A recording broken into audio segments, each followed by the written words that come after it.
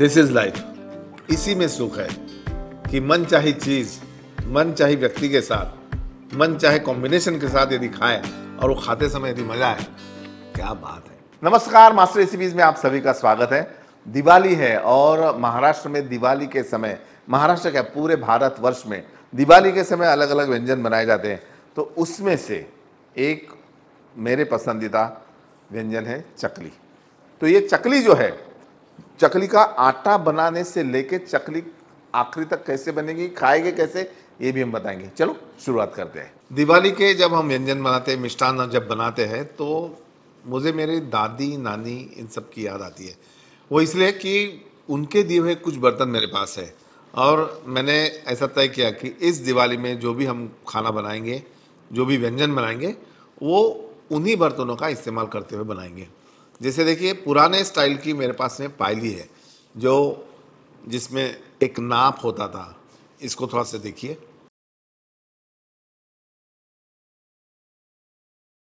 इसके साथ साथ मेरे पास कुछ पुरानी सब्ज़ी काटने की जो पाउसी है, वो, उसके बाद में किसनी कद्दू कसनी ये भी है अलग अलग स्टाइल की है। इसके भी ऊपर थोड़ा सा नज़र डालिए।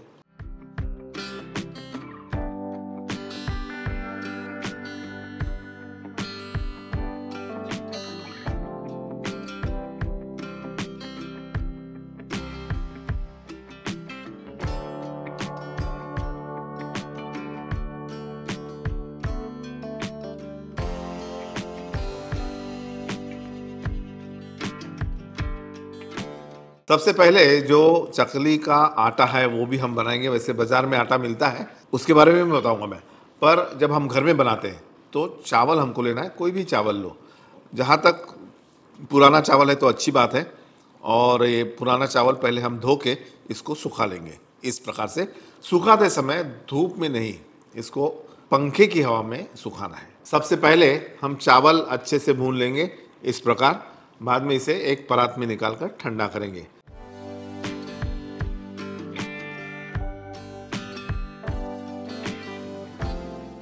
उसके बाद हम लेंगे चने की दाल। उसको भी अच्छे तरीके से भून लेंगे। ये चने की दाल हो गई।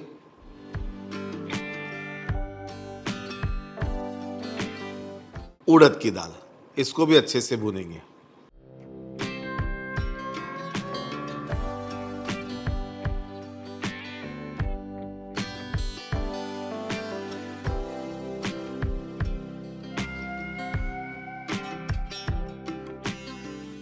ये दालें जब हम भूनते हैं तो एक भीनी भीनी महक आनी चाहिए।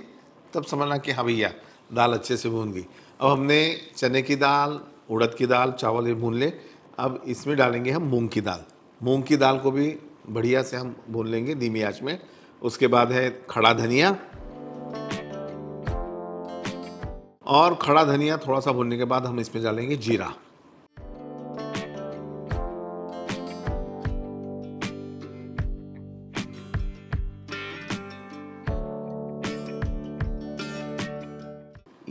नमक मैंने डाल दिया एक छटाक छटाक का नाप भी पुराना है।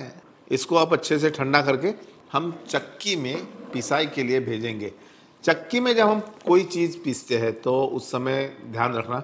मुझे याद है कि जब हम मम्मी हमारी देती थी ये सब पीसने के लिए तो बोलती थी कि, देखना बेटा, गेहूँ के ऊपर नहीं डालना। चने की दाल जहाँ पीसते हैं, चने की दाल के ऊपर ये डालना। तो हम देखते रहते थे, चने की दाल कब जाती? उसमें फिर कई घंटे निकल जाते थे। बचपन की बातें अलग है, ये बातें अलग है। आप पिसवाइए इसको और पीसने के बाद ठंडा करके डब्बे में भरिए। तो जैसे दो कटोरी मैंने चकली का आटा ले लिया, उसमें एक दो चम्मच तिल्ली, आमचूर पाउडर, तकरीबन एक चम्मच। स्वादानुसार नमक नमक डालते समय एक बात का ध्यान रखना, जब हमने आटा बनाया था, उसमें भी थोड़ा सा नमक हमने डाला था। अब इसको थोड़ा सा हम मसालेदार स्पाइसी बनाएँगे, मेरे हिसाब से जो मुझे अच्छी लगती है। तो इसमें हमने 12 से 15 लहसुन की कलियाँ ले ली। स्वादानुसार थोड़ा सा हरी मिर्च मिर्च कैसी तीखी है, नहीं है, उस हिसाब से। हरी धनिया और थोड़ा सा एक दो चम्मच तेल, जैसे दो कटोरी आटा है, दो से तीन चम्मच तेल इसमें डालेंगे और मिक्सी में इससे बारीक कर लेंगे। अब इसे अच्छे से मिला लेंगे।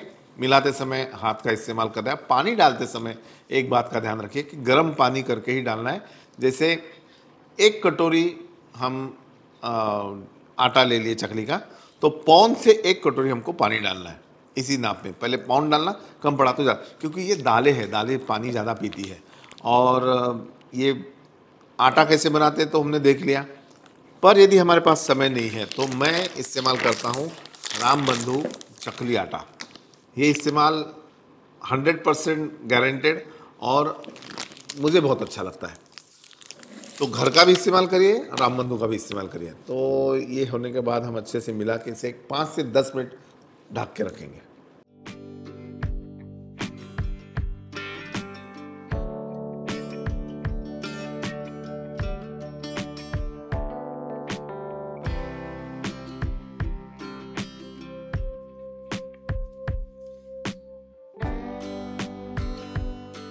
दस मिनट के बाद इसको थोड़ा देख लेना क्योंकि पानी सोख करती है दालें और थोड़ा पानी डाल के फिर से इसे गूंद लेंगे।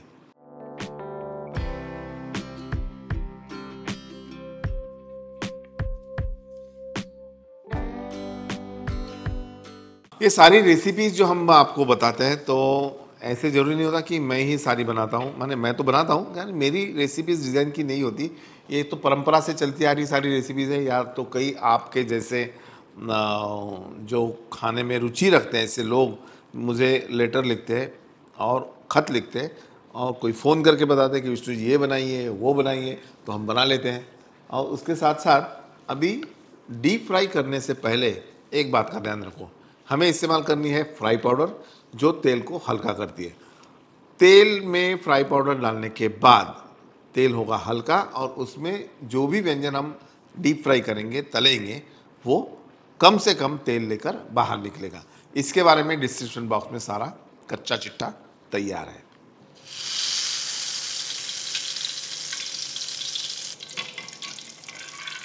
अब चकली बनाते समय सबसे पहले ज़रूरी चीज़ ये है कि तेल जो है, बहुत ठंडा भी नहीं चाहिए, बहुत ज़्यादा गर्म भी नहीं चाहिए। धीमी आँच में तेल रखना, पहले गर्म करो, फिर आँच धीमी करो और तेल फिर इसमें चकली डालने के लिए तैयार होता चकली डालने के लिए हमें साँचा लगता है, चकली का साँचा। पीतल के भी साँचे आते हैं और ये लकड़ी का साँचा भी आता है। मुझे लकड़ी का साँचा ज़्यादा पसंद है। साँचा इस्तेमाल करते समय साँचे को थोड़ा सा अंदर से तेल लगा लो ताकि इसमें जो आटा भरेंगे, वो आसानी से निकल जाए। एक बात का और ध्यान रखना है कि आटा भरते समय दो पोर्शन में नहीं डालना, नहीं तो बीच में से चकली टूट जाएगी। एक संद हिसाब से डालना है। कई लोग, मेरी मम्मी जो है ना, चकली का सासा लेके डायरेक्ट तेल में डालती थी। हमें आदत नहीं है। हम इसको एक प्लेट में तेल लगाकर चकली इसमें पहले डालेंगे और फिर धीरे से डीप फ्राई करेंगे। डीप फ्राई करते समय इस बात का ज़रूर ध्यान रखना, हाई फ्लेम में नहीं करना। है तो ऊपर से जल जाएगी, अंदर जो है, ढीली रहेगी।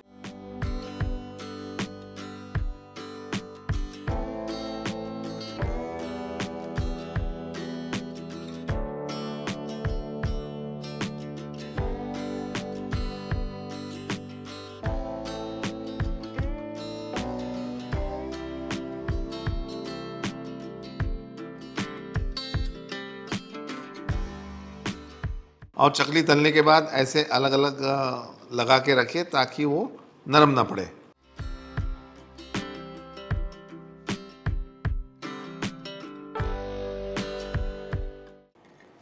क्या बात है।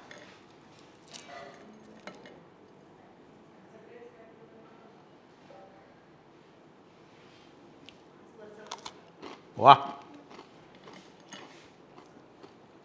दिस इज़ लाइफ इसी में सुख है। कि मन चाहे चीज़, मन चाहे व्यक्ति के साथ, मन चाहे कॉम्बिनेशन के साथ यदि खाए और वो खाते समय यदि मज़ा आए, क्या बात है।